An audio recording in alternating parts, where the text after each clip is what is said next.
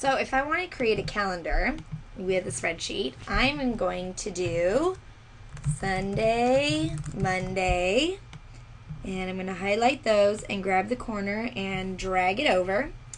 And so today is June 9th, 2013.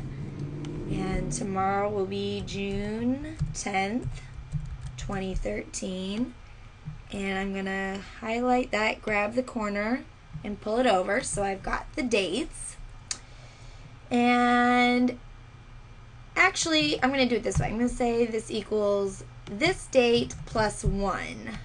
Because that way, if I want to update this, I just have to change the first date. So if I make this, I don't know, 2, 4, then all the rest of the dates will update. So I'll just do this as 6, 9, and then I have all the rest of the dates in the list.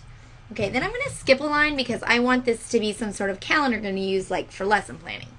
So then I'm going to say that this equals the previous date plus 7. So it's 7 days from now.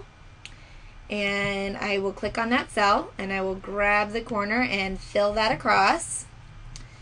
And then what I will do is I'll highlight this along with the uh, blank row so that I pick up that pattern and I just pull the list down. Um, so now I have a whole entire calendar uh, that I can now start filling in for lesson plans.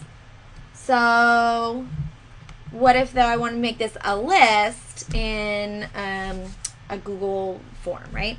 So I can put equals transpose now, I only, I'm going to use this for my school, so I only need Monday through Friday. So I'm going to highlight Monday through Friday here. I'm going to transpose those dates. Boom, enter. This equals transpose, and then I'll do the second week, just Monday through Friday. And I'll put equals tran, oops, transpose. And then I'll get the third week, Monday through Friday and pretend, you know, like this summer school, right? Equals transpose um, Monday through Friday. Get equals transpose Monday through Friday. So we'll just say this is like a short summer school class, right?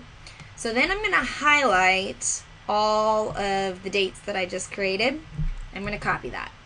So then I come over to my Google form and I'm going to create, say, multiple, it doesn't matter, multiple choice, check boxes,